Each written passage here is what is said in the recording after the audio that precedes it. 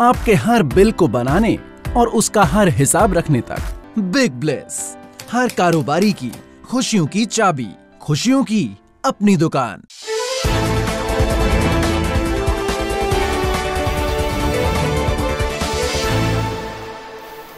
बात करें यहाँ से अगर आप सोयाबीन की तो सोयाबीन का फरवरी वादा देख रहे हैं छियासठ सौ पर ट्रेड करता नज़र आ रहा है और छियासठ सौ चौदह का ही लगा चुका है। पौने तीन फ़ीसदी की तेज़ी आज देख रहे हैं सोयाबीन में बनती नज़र आ रही है। अभी थोड़ी देर पहले जो सोयाबीन का वायदा बाज़ार था, वो सड़सठ सौ पर भी गया था, लेकिन अब देख रहे हैं कि छियासठ सौ पर ट्रेड करता नज़र आ रहा है। आपको बता दें कि सोयाबीन काफ़ी महीनों से एक सीमित दायरे में ट्रेड करती नज़र आ रही है। पाँच हज़ार नौ सौ तक भी उससे पहले हमने देखा था, कुछ महीनों पहले देखा था कि नीचे में सोयाबीन पचपन सौ तक भी गई थी, लेकिन उसके बाद धीरे धीरे जो कीमतें हैं रिकवर हुई, फिर 6000 के ऊपर सस्टेन हो गई। 6000 नीचे में और ऊपर में चौंसठ सौ पचास, पैंसठ सौ मैक्सिमम। नीचे में 6000 से लेकर ऊपर में पैंसठ सौ का एक सीमित दायरा सोयाबीन में महीनों से देखने को मिल रहा है। देखने वाली बात यह है, चौंकाने वाली बात यह है कि जब जब भारत में सरसों की नई आवकें आने वाली होती है, तब तक सोयाबीन का वायदा जो है और जो हाजिर बाज़ार है, वो लुढ़कता नज़र आता है, टूटता नज़र आता है।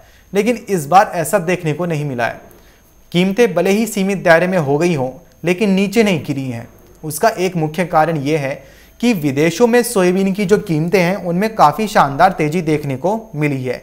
आपको बता दें कि साउथ अमेरिका में, जैसे कि ब्राज़ील हुआ, अर्जेंटीना हुआ, यहाँ पर सोयाबीन में, सोयाबीन की जो फ़सल उत्पादन का जो अनुमान लगाया था एजेंसियों द्वारा और वहाँ की सरकार द्वारा, उसके उत्पादन अनुमान में कटौती की गई है। उसका मुख्य कारण ये रहा है कि जैसे वहाँ पर जो सूखे के हालात हैं, सूखे के हालातों की वजह से वहाँ पे जो सोयाबीन की जो फ़सलें हैं, वो गर्मी में झुलस गई हैं, जिसकी वजह से सोयाबीन का जो उत्पादन है, वहाँ पर कमी रहने की आशंका बताई जा रही है। ब्राज़ील और अर्जेंटीना के अंदर, वहाँ पे कोई ज़्यादा सोयाबीन का उत्पादन इस बार देखने को नहीं मिलेगा। हालाँकि ब्राज़ील का जो एक्सपोर्ट है, कम उत्पादन रहने के बावजूद भी बड़ा है। चीन ने आयात किया है और अर्जेंटीना और ब्राज़ील सोयाबीन के पूरी दुनिया भर में सोयाबीन में काफ़ी बड़ी हिस्सेदारी रखते हैं। वो इसी बात से पता लगाया जा सकता है कि साल 2020 में ब्राज़ील और अर्जेंटीना की जो सोयाबीन की जो हिस्सेदारी थी, वो लगभग पूरी दुनिया में सोयाबीन में आधी बैठी थी। यानी कि ब्राज़ील और अर्जेंटीना की पूरे दुनिया में सोयाबीन की जो प्रोडक्शन है, वो एक तरफ़ और बाकी दुनिया का एक तरफ़ बराबर बैठा था। तो इसी से अंदाज़ा लगाया जा सकता है कि अगर ब्राज़ील और अर्जेंटीना में सोयाबीन का उत्पादन घटता या बढ़ता है तो उसका असर ग्लोबली पूरे वैश्विक स्तर पर सोयाबीन में घट बढ़ के रूप में कितना बढ़ता है।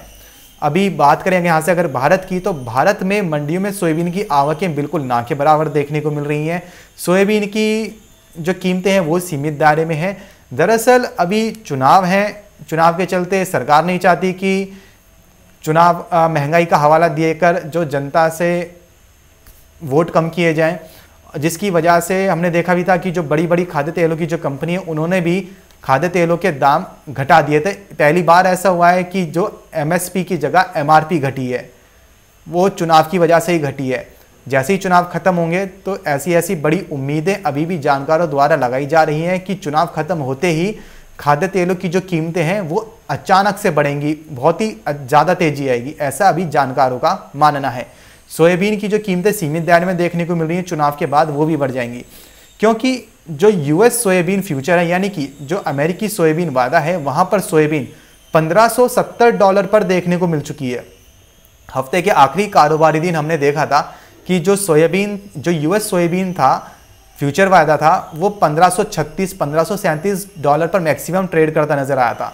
वहीं अब देख रहे हैं कि दो से तीन दिन के अंदर ही जो यूएस सोयाबीन फ्यूचर्स है, उसमें 34 से 35 डॉलर की बढ़त देखने को मिली है और आज हफ़्ते के पहले कारोबार दिन, सोमवार के दिन यूएस सोयाबीन फ्यूचर 1570 1571 डॉलर पर ट्रेड करता नज़र आ रहा है, सवा एक फ़ीसदी की बढ़त देखने को मिल रही है। तो इसी बात से अंदाज़ा लगाया जा सकता है कि आगे जाके सोयाबीन में कैसा रुझान रहेगा। सोयाबीन में आने वाले दिनों में तेज़ी ही देखने को मिल सकती है।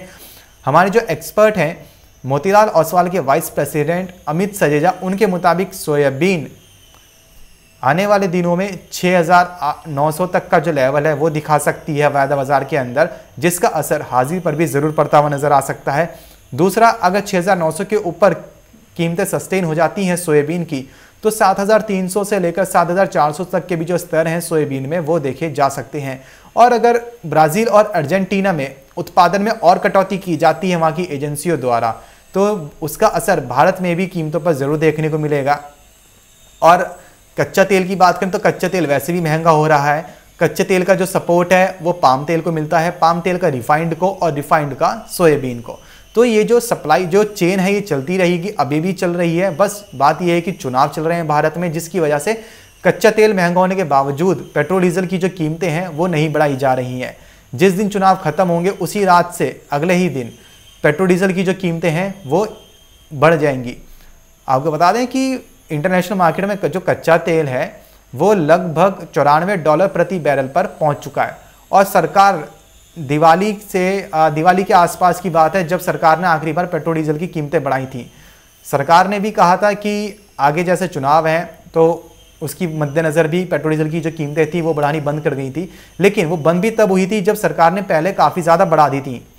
सौ सौ रुपये के आसपास तो पेट्रोल अभी भी देखने को मिल रहा है। और अगर इंटरनेशनल मार्केट के अंदर कच्चे तेल की जो कीमतें हैं वो लगातार बढ़ती रहती हैं तो उसका असर बाकी कम्युनिटीज़ पर भी पड़ेगा। सबसे पहले तो कच्चा तेल, अगर जानकार द्वारा भी ऐसी अटकलें लगाई जा रही हैं कि कच्चा तेल 100 डॉलर के पार जा सकता है 100 डॉलर हो सकता है।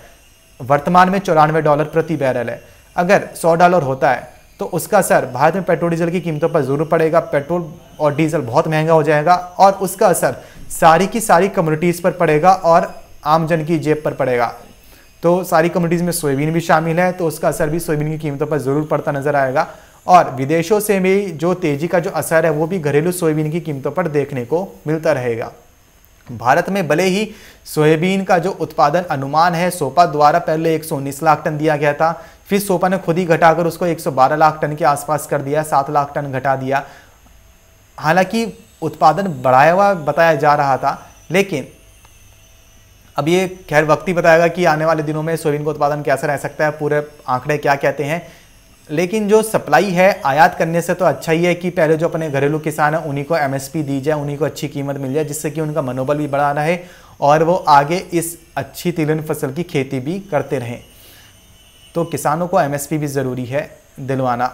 और विदेशों में तेज़ी रही तो उसका सपोर्ट सोयाबीन को तो मिलेगा ही मिलेगा।